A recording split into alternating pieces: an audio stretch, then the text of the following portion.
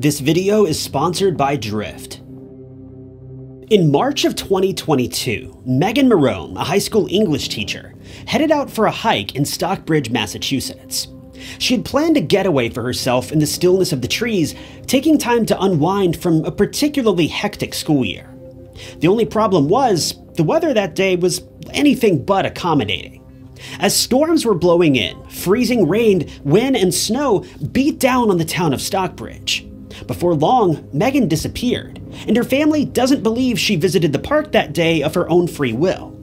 They believe she was kidnapped. None of Meghan's friends or family believe the official story from police, and the mountains of evidence suggest that Meghan may have been harassed, stalked, or worse.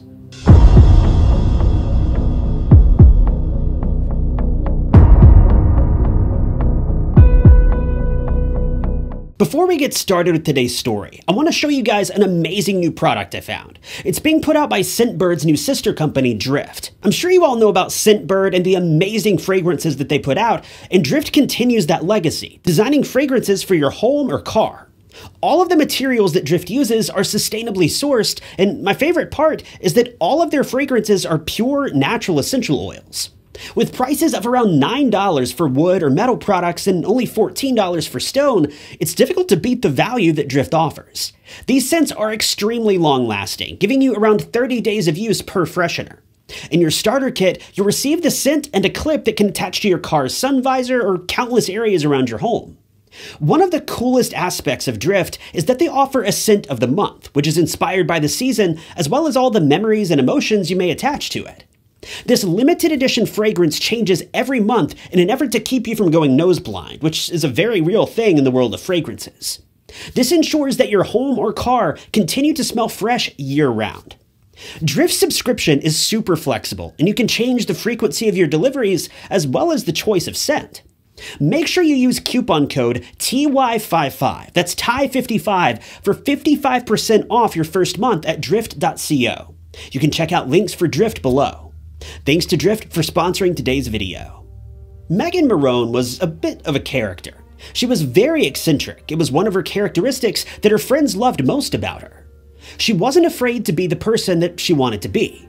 She was weird, quirky, maybe even a bit off putting to some people, but Meghan was incredibly kind, loving, and always had the best interest of others at the forefront of her mind.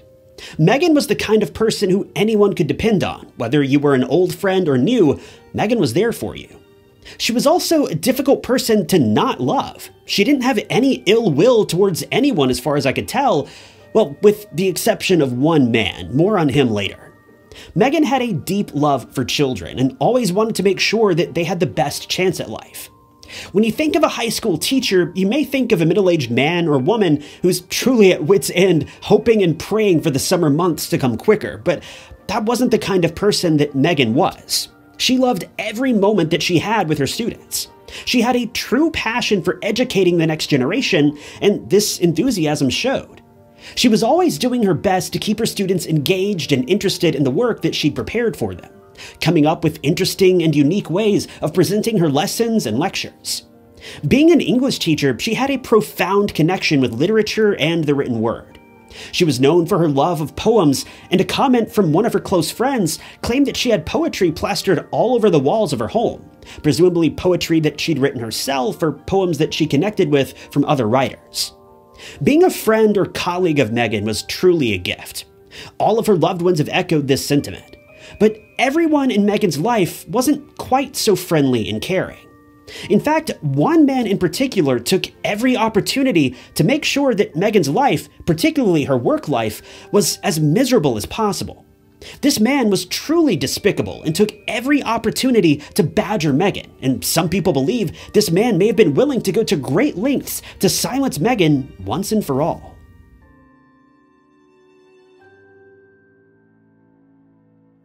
It's clear to see that Meghan was a very outgoing and passionate woman, but her unique way of life, combined with her usual personality, was a bit of an acquired taste for some of her peers.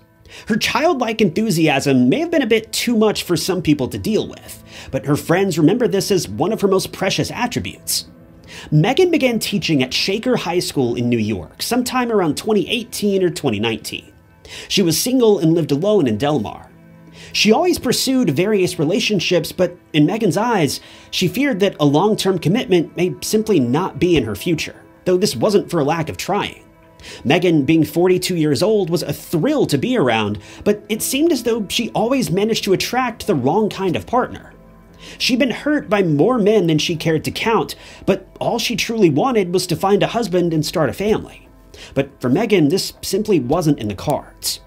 She had always talked about her love for children and how she desperately wanted a child of her own, and as the years progressed, the weight of her desire to start a family began to drag her down in the darkest of ways, with some descriptions of Meghan's final moments suggesting that she may have fallen into a deep depression. But truthfully, this was the least of Meghan's concerns in 2022, when an otherwise normal school year would turn into the stuff of nightmares. Unfortunately, we don't know all the specifics of what took place. Much of this information has been withheld by her family to protect her privacy, or she simply never shared it in the first place. All we know is that Meghan had serious issues with one of her colleagues, a male colleague.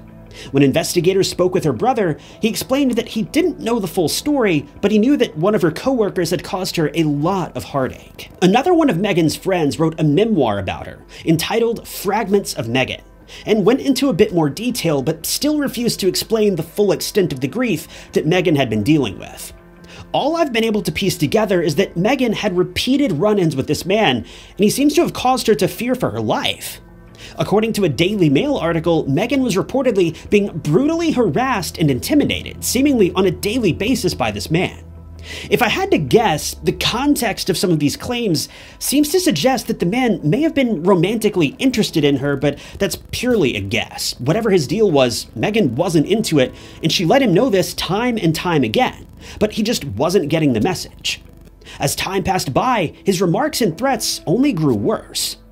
The situation grew to be so severe that the school board offered to let Meghan have the remainder of the year off, even going as far as offering to pay her during that time period. Meghan accepted this offer, and it appears as though she made plans to work for the school for the remainder of this year. Then she planned on leaving and returning back to her friends and family who lived in Washington. According to a friend, the school was wearing Meghan down like sandpaper, and she couldn't wait to get out of there. In the weeks leading up to the crime, Meghan's upbeat and quirky demeanor had taken a downturn. This once happy go lucky woman was now a fragment of her former self, with her friends saying that her emotions had become disjointed and something inside of her had broken. We don't know if the weight of her troubles at school had become more than she could carry, or if there was much more going on than anyone could have known about. But during her time off, Meghan decided to visit one of her friends down in New Orleans. The friend had been deeply worried about her, so she offered to spend a few weeks together with Meghan to help her get back on her feet and ensure that she was okay. The friend hadn't seen Meghan in person in about two years, considering they lived over a thousand miles apart. But when Meghan arrived, her friend barely recognized her. Meghan had lost a serious amount of weight and had been consumed by her anxiety. While she put on a strong front on the outside, inside, Meghan was struggling to keep her head above water. Her friends say that she was very jumpy, acting paranoid, and every little noise made her come out of her skin, almost like someone or something was after her. Meghan spent the following few weeks hanging out in New Orleans, seeing all the beautiful sights that the town has to offer. But before long, it was time for her to go. But rather than head straight back to New York, Meghan had made plans to stay in Stockbridge, Massachusetts for a while, clearing her head for a few weeks to a few months before making her preparations to pack up her things in New York and head off to Washington to be with her family later on in June. But unfortunately, Meghan would never get the chance to see her family again. In fact, Meghan would never leave the state of Massachusetts.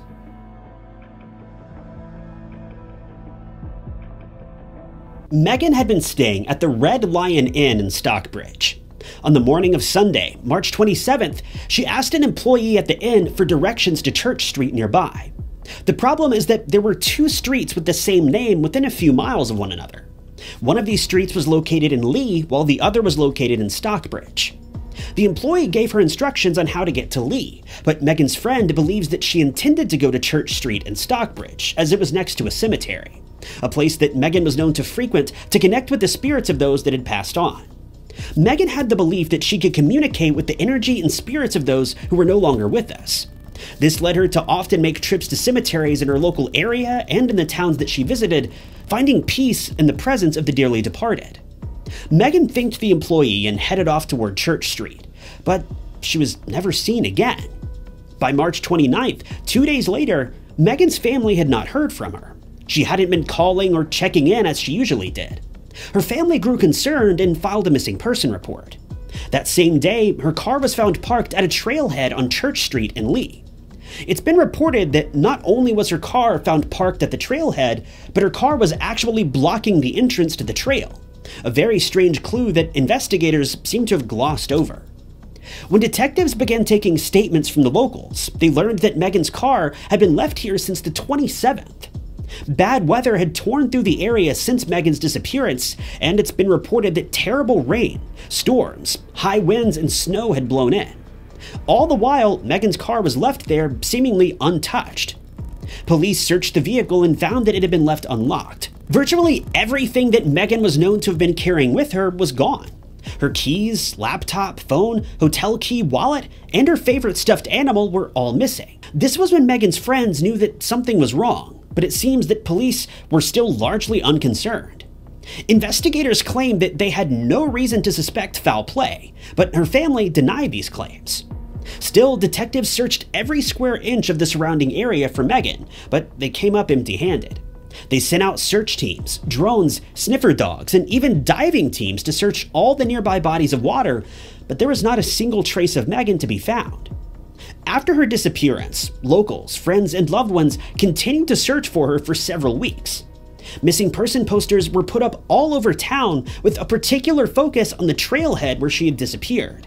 But this is where things get extremely interesting. Dozens of missing person posters were placed all throughout the trail where Meghan's car was found. But no sooner than the signs were hung up, they were all torn down.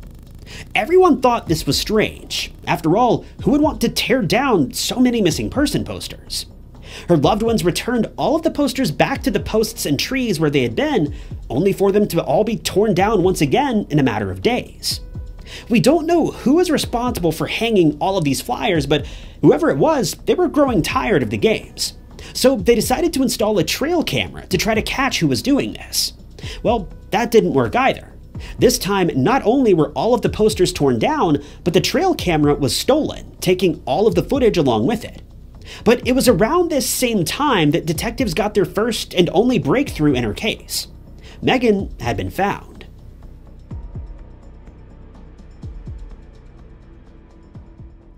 On September 1st, more than six months after Meghan had gone missing, she was found, but not in the way that investigators had hoped for.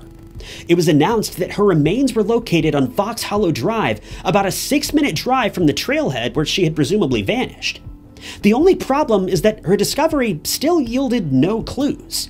There was no sign of a struggle and no evidence left behind, aside from her remains, obviously. Meghan's body was sent to the local medical examiner, and it took them quite some time to even confirm that the remains belonged to Meghan. In the end, after this confirmation, all they were able to conclude was that Meghan had THC in her system at the time of her demise, but nothing more.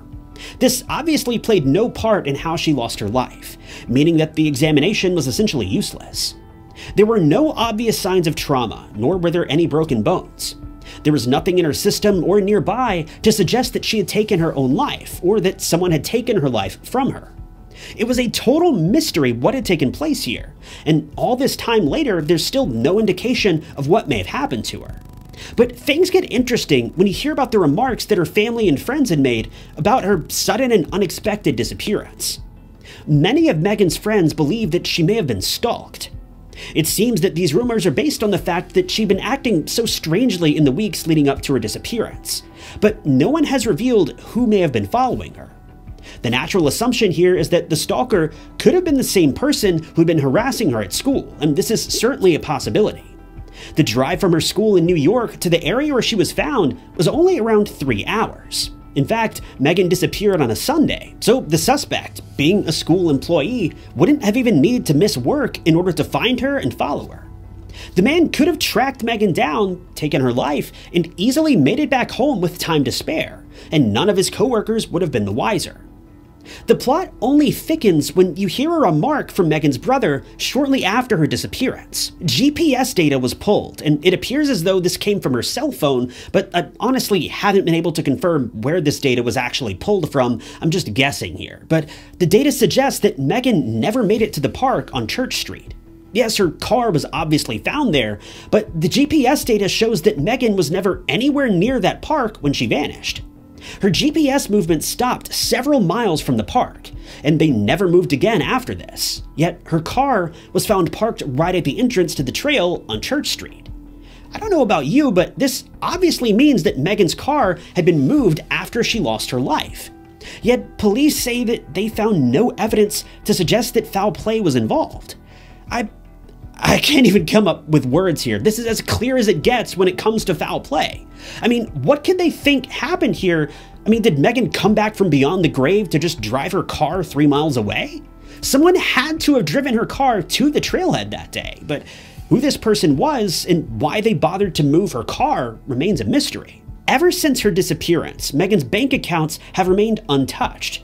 None of her cards have been used, so even though her belongings were all missing, it doesn't seem like the suspect ever tried to steal anything else from her, which essentially rules out robbery as a motive in my book. Police did search her car for DNA and fingerprints, but the results were never publicly recorded. It seems safe to assume that nothing of value was found here, or the person responsible would have already been brought in for questioning, and there's no mention of this ever happening. The last update that I've been able to track down was from December of 2022, and it appears as though police still only have the case classified as a missing person case, and it doesn't appear that Meghan's disappearance is under investigation any longer. The cause of her passing has never been reclassified as a homicide, even though that's pretty clearly what took place here. While investigators never determined what exactly happened, they've given us every reason to believe that the case is now closed, and it appears as though they couldn't care less about getting to the bottom of things. I try to remain optimistic in cases like this. Maybe police will investigate things further if they come across new information. But for now, it seems like they're content with labeling this as nothing more than a mysterious accident. This is seriously heartbreaking for both Meghan and for her friends and family, but with a police department that's so dead set on closing the case, there isn't really much else that can be done. As it stands, Meghan's family and friends believe that they likely know her killer, and they'd love to reveal his name. But unfortunately, without any tangible evidence, we can't go around pointing fingers. All of her closest friends believe that the person responsible is most likely the man who'd been harassing her at school for the months leading up to her disappearance. But there's simply nothing that can be done if the police aren't willing to take these allegations seriously. In cases like this, I usually like to include a case number and a phone number at the end of the video, asking for you guys to call in if you happen to have any information. But with a police force that's so clearly incompetent, it would just be a waste of breath.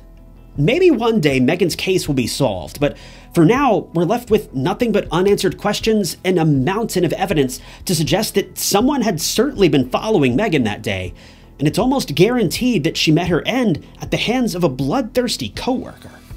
I choose to believe that the truth will eventually come out. It almost always does. But for now, the case of Meghan Marohn is just another heartbreaking, disappointing tragedy. Thank you guys for tuning in to another episode of True Crime Stories. If you want to see more true crime documentaries like this, be sure to hit the like button and subscribe. If you'd like to help support the channel, the best way you can do that is simply by leaving a comment below, any comment at all. It helps out the channel way more than you may realize. If you want to help out financially, you can do that by clicking the blue join button below or by picking up a True Crime Stories mug from TyNotts.com. But with that, my name is Ty Notts, and I'll catch you guys in the next video.